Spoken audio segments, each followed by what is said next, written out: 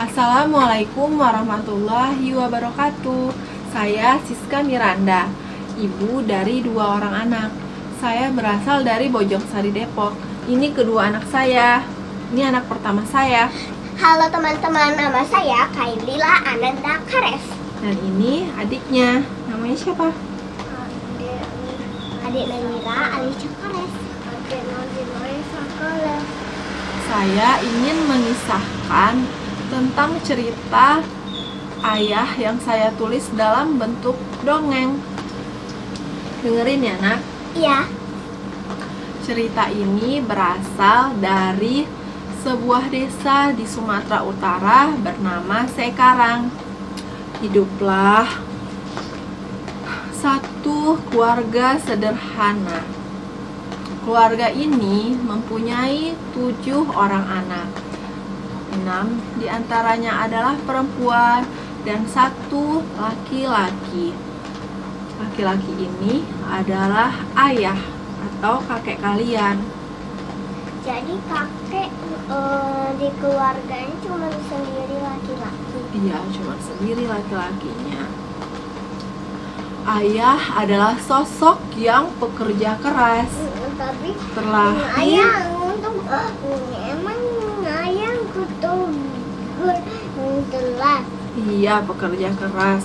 Terlahir sebagai anak laki satu-satunya dari keluarga sederhana membuat ayah menjadi pribadi yang tangguh. Jadi, semasa kecil karena hidupnya sangat sulit, setiap pagi anak lelaki ini selalu pergi berjualan kue dengan berjalan kaki bersama kakak perempuannya. Itu menggunakan tampah, Nak. Kue, kue, kue. Berarti kakek setiap hari kalau mau dapat rezeki harus jualan kue dulu. Iya, harus jualan kue. Jadi sebelum pergi sekolah jualan kue, nanti pulang sekolah jualan lagi gitu. Hmm. Karena ayah adalah anak laki satu-satunya, maka hanya ayah yang dikuliahkan hingga perguruan tinggi. Seorang anak dari sebuah desa terpencil bisa tembus Fakultas Hukum Universitas Sumatera Utara. Zaman dulu itu sangat susah, Nak.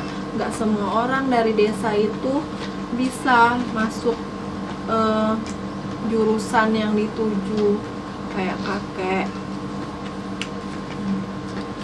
Tapi Allah punya cerita saking selalu berusaha dan berdoa akhirnya kakak beradik ayah yang perempuan menyusul untuk kuliah juga ada yang pas menikah ada yang setelah bekerja baru bisa kuliah lalu anak lelaki ini menemukan jodohnya di kampus tersebut hingga berumah tangga dan pergi merantau ke Pekanbaru.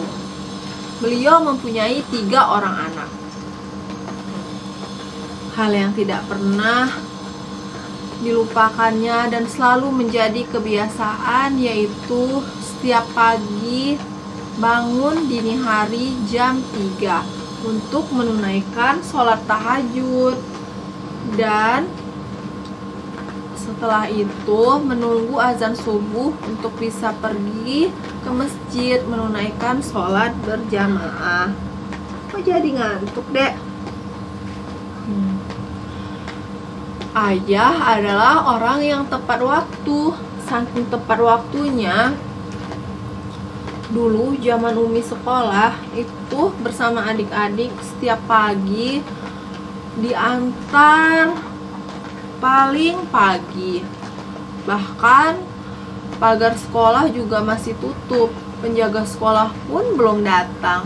Kalau Jadi- ingat masa-masa itu, Umi pergi sekolah pagi-pagi banget. iya makanya kakak kalau sekolah itu bangunnya pagi.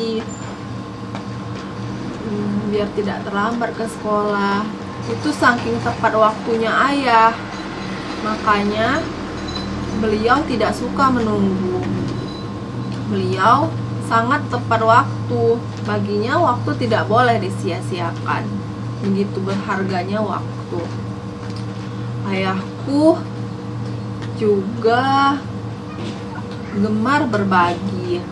Baginya, sedekah itu tidak akan pernah membuatmu miskin. Bahkan, sedekah itu bisa melapangkan rezeki. Hingga Bunda pernah berkata bahwa kalau misalnya hanya harta ayah yang melekat itu hanya baju di tubuhnya, maka itu juga bakal disedekahkan oleh sosok lelaki ini, sosok ayah Ayah sangat dibanggakan anak-anaknya. Beliau jarang sekali marah.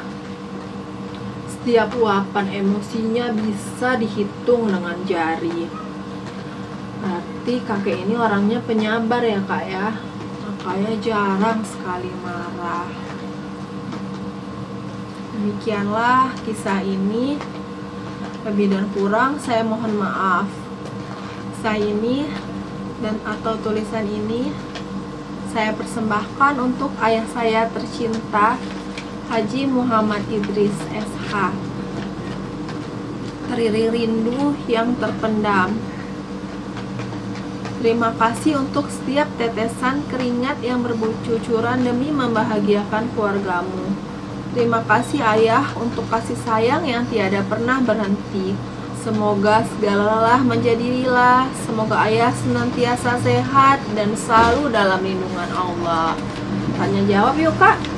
Kakak udah ngerti belum ya dongeng yang tadi Umi ituin? Umi dengerin ke kakak. Siapa ya tokoh dalam cerita ini? Kakek, Kakek. Kakek itu siapa? ayahnya Umi. Oh iya benar ayahnya Umi. Kejadiannya di mana ya? Di Medan. Di Medan ya? Di Medan tempat kakek kuliah. Terus di Sekarang ya tempat kakek menghabiskan masa kecil. Terus pindah ke Pekanbaru. Masalah apa ya yang terjadi di sini? Masalah harus mencari nafkah, berjualan kue, Hmm, Terus eh, ada ini hikmahnya ya harus rajin berbagi, harus rajin belajar, bersedekah, harus menjadi orang yang tepat waktu ya, tidak boleh terlambat. Nah, terus cara nyelesain masalahnya gimana? berusaha dan terus berdoa. Demikianlah cerita tentang ayah ini. Lebih dan kurang saya mohon maaf. Cerita ini saya persembahkan untuk ayah saya Haji Muhammad Idris SH. Ayah, terima kasih banyak atas segala ketulusannya, atas segala kasih sayang yang tiada pernah berhenti. Semoga ayah selalu dalam lindungan Allah. Assalamualaikum warahmatullahi wabarakatuh.